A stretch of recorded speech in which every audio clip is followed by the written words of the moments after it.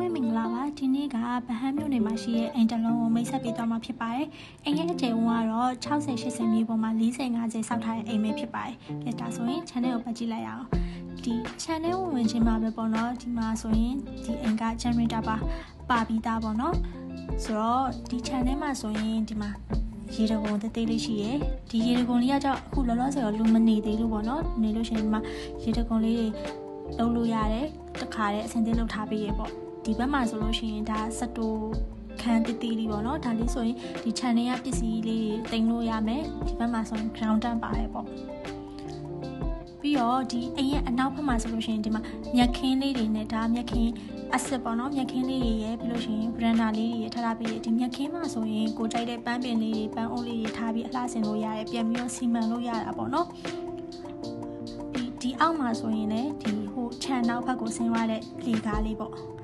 အာဆိုတိတ်တော့အိမ်ထဲကိုသွားကြည့်ရအောင်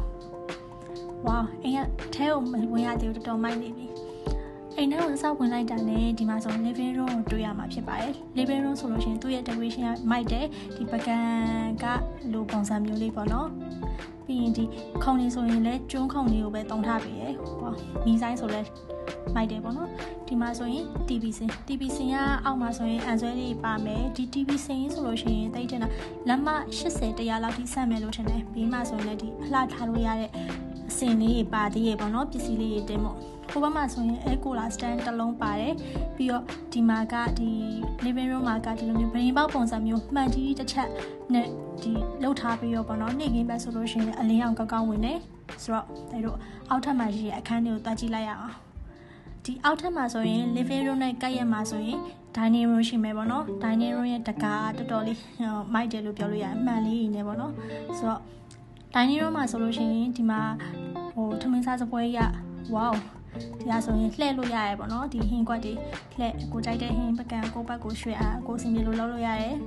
လို့ရှိရင်ဒီခုံကြီးကလည်းကျွန်းခုံလေးတောင်းထားပြီးဒီဘေးမှာဆိုရင်ဒီဟာဆိုရင်ပကံတွေထည့်ပြီးတော့တိမ်မလားပေါ့နော်အဲ့လိုမျိုးထည့်လို့ရတယ်ဒီမှာဆိုရင်စင်လေးတွေပြီးတော့မိုက်တယ်ပေါ့နော်ကျွန်းတွေကိုလည်းတုံထားပေးရဲ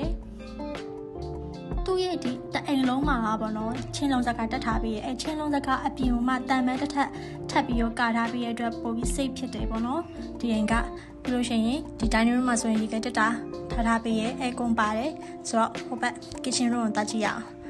ဟော kitchen room ကဒီကြောက်ပြားတွေကဒီအပေလွယ်တဲ့အရာကိုသုံးထားပြီးတော့ဗောနော်ပေးရကျန်းနာကိုတိတ်ပြီးတော့မတိတာဘူးပေါ့သူရဲ့သုံးထားပြီးရဲ့အရာကမိုက်တယ်ဒီရောက်မှဆိုလိုက်ခက်ပြီးနာနေပါမယ် အော်ပြီးတော့ဒီမှာ gas မီးပေါ့ပေါ့နော်သူရဲ့အပေါ်မှာဆိုရင်အညော်ဆုပ်ဆက်ပါတယ်ပေါ့နော်ဆိုတော့ဒီအိမ်ကတော်တော်လေး fully funded ဖြစ်တယ်လို့ပြောလို့ရတယ်ပေါ့နော်အပေါ်မှာဆိုရင်ပန်ကာတစ်လုံးပါသေးရဲ့ဒီ kitchen room နဲ့ကြည့်ပြီးပြီဆိုတော့တို့အပေါ်တက်ပြီးတော့ထပ်ပြီးဆက်ဆုလိုက်ရအောင်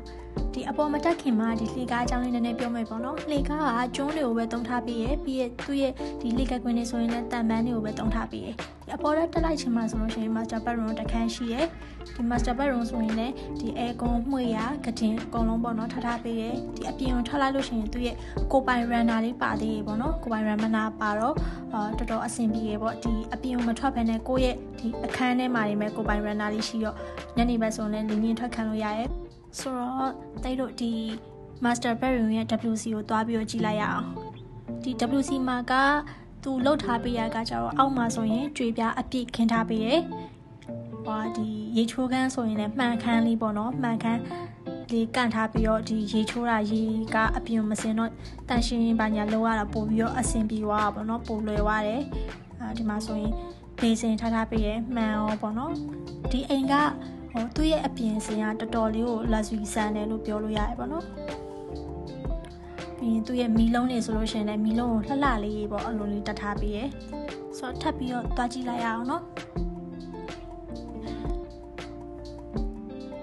အိမ်က မိုက်တယ်ပေါ့နော်အိမ်ကတော်တော်မိုက်တယ်ပြီးရင်သူ့ရဲ့တအိမ်လုံးကလည်းအောက်မှာဆိုရင်ကျွန်းပါကေးတွေပဲအပြည့်ခင်းထားပြီးရယ်ပြီးတော့ဒီဘက်ဟိုဘက်အခန်းကြီးကကျတော့ master room ပဲဆိုတော့ master bedroom ချင်းကဒီပြင်ထားတဲ့ decoration ကတူတူပဲဆိုတော့တိတ်မဖွင့်ပြတော့ဘူးเนาะကဲဒါဆိုရင်ဒီအိမ်ရဲ့အကြောင်းလေးကိုထပ်ပြီးတော့ရှင်းပြပေးမယ်เนาะဒီအိမ်ကဒီ master bedroom 3ခန်းပါတယ်ရိုးရိုး single room ကကျတော့2ခန်းပါတယ်ပေါ့เนาะပြီးတော့ဒီအိမ်ရဲ့တလ900ကားကအခုပေါက်စေးတလကို 45သိန်းဖြစ်ပါတယ်ဆိုတော့ဒီအိမ်ကတမတန်ဆိုတာကိုဒီဗီဒီယိုအောက်မှာရေးခဲ့လို့ရပါတယ်